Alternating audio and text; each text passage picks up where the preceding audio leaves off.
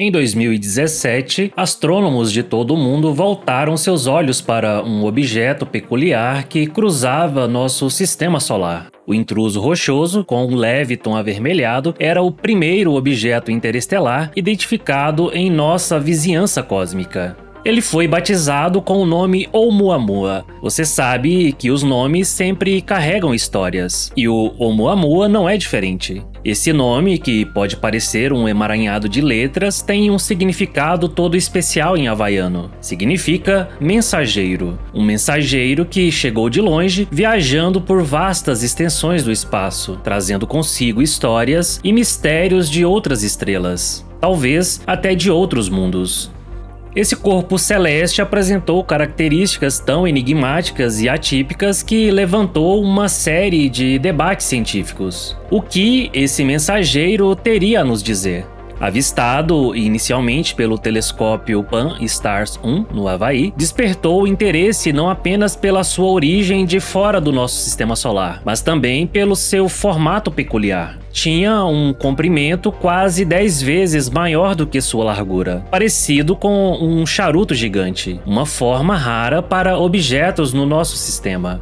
Pensa nos planetas, nas estrelas, nos cometas que a gente conhece. Nada se parece com o charuto, certo? Foi isso que tornou o Oumuamua tão intrigante e gerou várias especulações. Por centenas de milhões de anos, este visitante peculiar tem vagado pela nossa galáxia, a Via Láctea, sem se estabelecer em nenhum sistema estelar. Depois de ser descoberto, centenas, talvez milhares de telescópios ao redor do mundo começaram a estudá-lo, medindo sua órbita, sua cor e brilho. Foi então que perceberam que o Oumuamua tinha várias características peculiares.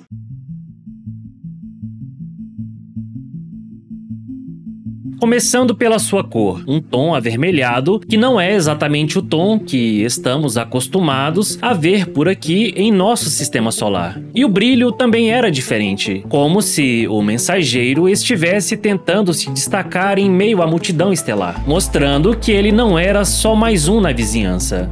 Viajando a 87 km por segundo, era rápido demais para ser um objeto originário do nosso sistema. Isso levou alguns a questionar sua verdadeira natureza. Seria um asteroide, um cometa ou algo mais misterioso?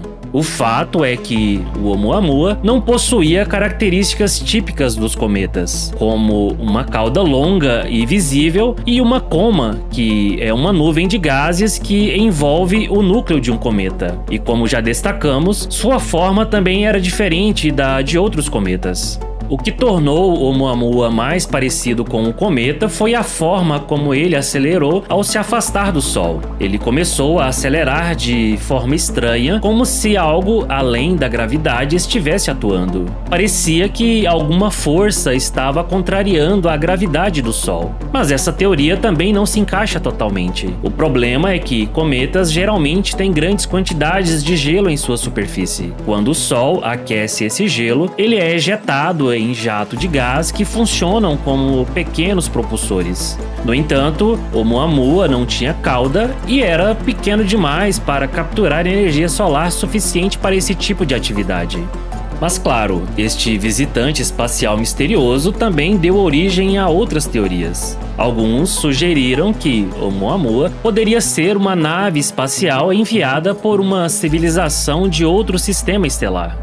No entanto, os cientistas encontraram uma explicação melhor. Um cometa que viaja entre estrelas é bombardeado por uma grande quantidade de radiação cósmica. Estes raios convertem até 25% das moléculas de água em hidrogênio. Quando um astro aquece o cometa, este hidrogênio é liberado. Os efeitos desse processo são quase invisíveis, o que pode explicar por que não vimos uma cauda espetacular acompanhando o Oumuamua. Ou seja, ele age como um cometa, mas sem a tal cauda brilhante. Apesar de Oumuamua ter sido o primeiro objeto interestelar conhecido a entrar em nosso sistema solar, ele não foi o último. Em agosto de 2019, o cometa Borisov nos visitou e se tornou o segundo objeto interestelar avistado. É provável que existam mais visitantes de sistemas estelares distantes circulando por aqui, já que nosso sistema solar é muito antigo e deve ter capturado alguns visitantes interestelares ao longo de milhões de anos. Um estudo investigou mais a fundo os objetos interestelares e concluiu que eles podem ser capturados não apenas em órbitas solares, mas também em órbitas próximas à Terra. Os astrônomos envolvidos até alegaram que poderia haver muitos objetos interestelares orbitando a Terra. Encontrar esses pequenos objetos em nosso gigantesco universo é um grande desafio. Ao observar regiões distantes do espaço, normalmente vemos estrelas e, ocasionalmente, vemos exoplanetas. Mas observar discos de detritos é algo muito raro. Além do mais, é muita sorte nossa que outros sistemas solares enviem seus objetos para nos visitar, pois ao estudar objetos interestelares, aprendemos mais sobre a formação, evolução e funcionamento de outros sistemas. Você já ouviu falar da nuvem de Oort? É a região mais distante do nosso sistema solar e é bem peculiar. A parte externa da nuvem de Oort define o limite cosmográfico do sistema solar e a região de influência gravitacional do Sol. Os astrônomos acreditam que a nuvem de Oort contenha bilhões, talvez até trilhões de objetos. Pode haver uma conexão entre a nuvem de Oort e os objetos interestelares, pois alguns cientistas acreditam que na região da nuvem de Oort podem existir mais objetos interestelares do que objetos do nosso próprio sistema solar. Mesmo sem ter observado a nuvem de Oort diretamente, os astrônomos têm certeza de sua existência. Eles chegaram a essa conclusão observando a distribuição dos cometas em nosso sistema solar. A nuvem de Oort é o local onde os cometas ficam até serem lançados em direção ao Sol. Alguns astrônomos acreditam que a matéria que compõe a nuvem de Oort poderia ter se formado perto do Sol, lá nos primeiros estágios da formação do sistema solar, e tenha se espalhado pelo espaço devido aos efeitos gravitacionais dos planetas gigantes mas alguns argumentam que grande parte dela poderia ser de origem interestelar. Se viajantes de outros sistemas solares são tão comuns quanto alguns estudos sugerem, muitos corpos nas bordas do nosso sistema solar provavelmente vieram de outros sistemas. Em 2008, cientistas analisaram matérias deixadas por 150 cometas. Eles descobriram que um deles tinha baixo teor de carbono e não continha muitos dos materiais típicos dos cometas. Isso poderia significar apenas uma coisa: o cometa era um intruso de outro sistema estelar. Ele pode ter sido expulso do seu sistema solar original pela gravidade de um grande planeta. Depois disso, deve ter vagado pelo espaço até encontrar Júpiter, que pode ter alterado a trajetória do cometa, fazendo com que ele ficasse preso na órbita ao redor do Sol. Há uma outra teoria que sugere que o cometa se formou em uma região pouco estudada do sistema solar e possui essa composição atípica por algum outro motivo. Cada teoria que os astrônomos formulam nos ajudam a aprender mais sobre como os sistemas estelares se formam e evoluem. No entanto, esses objetos espaciais são intrigantes e misteriosos por si só. Quanto mais aprendemos sobre eles, mais perguntas surgem. O universo é tipo aquele livro grosso que a gente nunca termina de ler. Sempre tem uma página a mais, um capítulo surpreendente.